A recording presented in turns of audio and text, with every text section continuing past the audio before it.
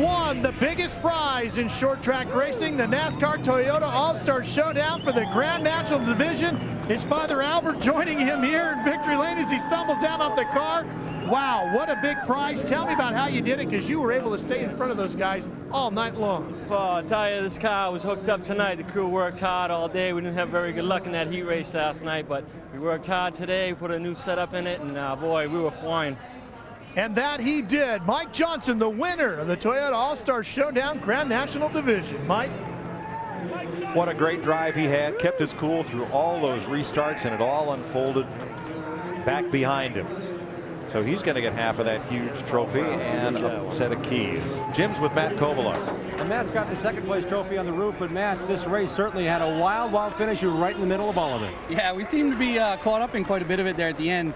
When we went back green for the final segment, um, I was cut down to the bottom, and the 16 went and cut down to go underneath the 96 at the same time I was in there, and he caught me in the right front and spun himself right off there. And kind of a, you know, I don't want to see it go like that, but I had the position in there, and he was trying to chop down and get underneath the 96 at the same time. So nothing I could really do about that because if I checked up, I would have got spun myself from behind. So then, you know, as the race wore down there, uh, uh, Scott Lynch in the 08, he was running me hard. I mean, he was running me real hard, wanted to get the position, and then last couple laps, he just drove me right in the door, and I guess he spun himself out there at the end. And I mean, he hit me pretty hard. I thought I was going around, but I mean, we, for what we went through this weekend, I mean, we blew up a rear end.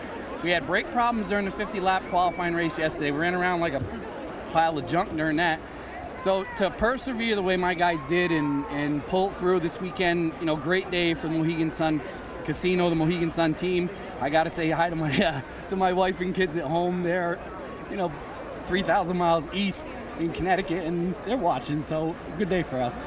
I can tell by the emotion this is an important day for you. They're not with you, but man, what a great run. What a great bit of pride you can take through the offseason. Yeah, absolutely. It's a great way to finish off the season. I mean, we've been we've had a winning team the whole season long. And just stuff happens out on the racetrack you can't control, but we just persevere. And the guys, you know, we put our heads down and grind through it, and this is the result. You know, you come down and, and you really just keep going and don't let things get you down, and you can do it. I mean, perfect example is Martin Truex those guys just persevered all season long. Congratulations to those guys. They deserve to win a championship. So perseverance is the key to this game. So that's what we did. Ralph? Brian Hoar standing here with a third place trophy on top of his car. It was a wild night out there, Brian, and it seemed to be excessively aggressive coming back to the line when the yellows were out. How come? I'm not sure why I was so aggressive. I know some of the guys were real anxious there, but uh, I'll tell you, when the 08 spun there, I, I, just kept my foot to the floor. I was trying to get by the high side of him uh, before he closed that gap and didn't quite make it. So we're pinging off him and the wall and everything else. But I'll tell you, the guys made a good stop, um, a 10-minute break, and, and, it was really going pretty good. I know those cautions were helping us because with the cold tires, we were going a little bit better. And uh, I just want to thank everybody involved in the crew, all the folks back home, and uh, Goss Dodge, and all our all the people that support us. Mike, confusion, pandemonium, craziness down here in the Victory Circle area, but the trophies are handed out. These drivers are smiling, and it's going to be a winner with a lot of bench racing because they'll be talking about this one for quite a while. This is the strangest looking victory lane I've ever seen, Ralph. We've got the stage, we've got the giveaway trucks, we've got the winning cars, we've got the wrecker, we've got the rollback, we've got wrecked cars. What a way to finish out the season. And a lot of smoke and speedy dry and people and yeah, it's an unusual look down here on the start finish line. Here's Jim. Joey McCarthy came across the line, we think, in third position, but Joe, you didn't get what you needed. You didn't get any long runs at the end. Did you have some for these guys? Uh, absolutely. We were probably one of the better cars on the track during the halfway break. I tried to position myself a little better than last year, but this Trim Spa X32 Chevy was flying, and we needed some long, long runs at the end, and we couldn't get them. Everybody's on new tires. Whoever they invert in the front row two years in a row won the race, and that part's frustrating, but it's a great run for us. Team did a great job, and uh, just happy to represent Trim Spa in a positive way. You guys were putting it together with toothpaste and Band-Aids to get here all season long. It seemed like it was a struggle. How, how satisfying is this for you? Unfortunately, from a competitive standpoint, it's not that satisfying. I really wanted to come out here and win and prove something. You know, we get put on a platform here, so, you know, the guy that wins gets all the recognition, but, you know, I'm really happy all around, just, uh, you know, we made a lot of passing, we made it exciting, and uh, I'd just like to say hi to everybody back at home, my little girl, and uh, to all the Trim Spa people, uh, thanks a lot for getting me out here. Mike? David Gilliland led 92 laps. Andy Santerre led 10, or 90 laps. Santerre led 10, and after the invert, Mike Johnson led the rest of the way. Let's go down to victory lane. Mike, we're down here in the victory lane area where things are, like I said, a little bit crazy. Let me run up here on the stage. It's been a wild night down here. Not everybody's 100% sure, to be completely honest with you, as to what took place here at the finish of tonight. If I can slide by Albert Johnson here and some of the guys. Let me get by you guys. All right, I got a couple of big name winners up here in the middle of all this thing. Eric, let me get you up in here with Mike.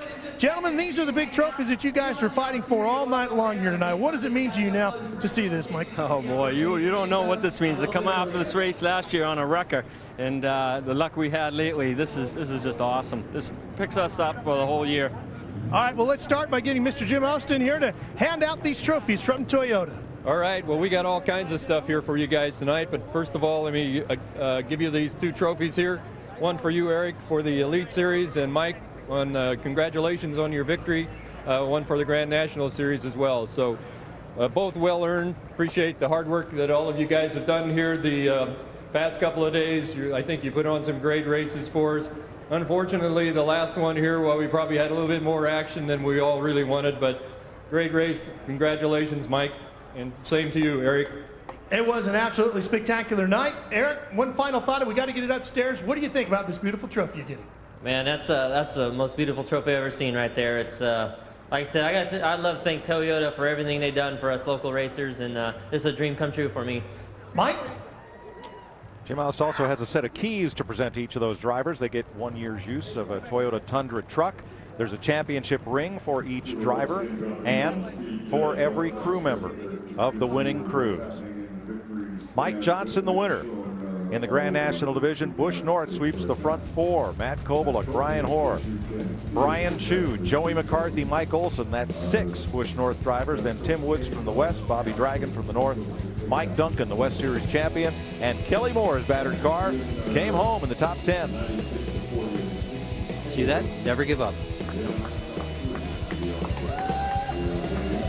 Eric Holmes on the left beating Rip Michaels, Bernie Lamar, Craig Rodman, Eric Darnell in the AutoZone Elite Division. Great thanks to the folks at Irwindale Speedway, to NASCAR, and to Toyota for backing NASCAR's biggest short track Saturday night, the Toyota All-Star Showdown. Wow, what a show. It was a big, big night, especially for those two men.